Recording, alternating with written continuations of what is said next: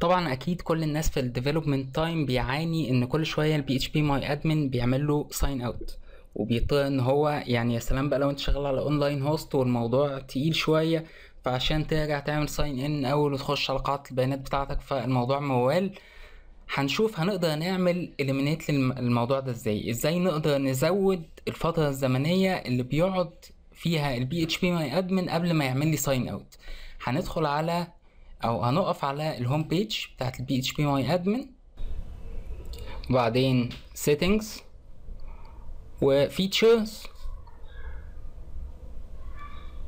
ومن ال features لازم تقف على ال general tab هتلاقي هنا عندك حاجة اسمها login cookie validity ممكن نعمل دي كده 15 وتعالوا نشوف هتبقى عاملة إزاي. نقف 15 ثانية كده ونستنى نشوف هل هو هيطلعني بقى فعلا ولا لأ. لما أجي أفتح table بعد كده أو أدخل على أي من قواعد البيانات.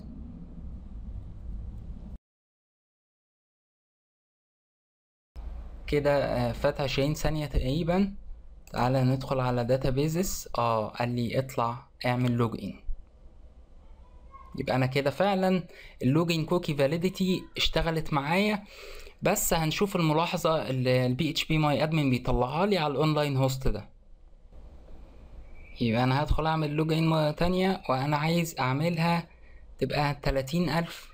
وهنشوف إن ال phpMyAdmin بيقول لك أنا محتاج ال configuration storage عشان تقدر تغير دي بشكل دائم. طيب تعالوا نشوف الكلام ده على ال WAMP كده نستناه يفتح ونشوف ال phpMyAdmin على ال WAMP إزاي هنعدل فيها ال login time أو هنزود ال time اللي أنا ببقى عامل بيه log in ادخل على ال phpMyAdmin وبعدين نشوف settings.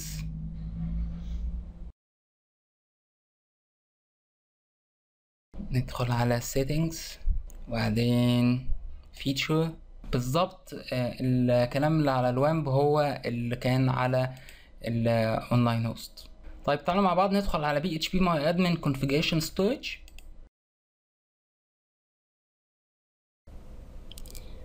كل حاجة موجودة هنا قدامي بس أنا خلاص وصلت للي أنا عايزه بإن أنا زودت الفترة الزمنية اللي هقدر فيها أفضل سايند إن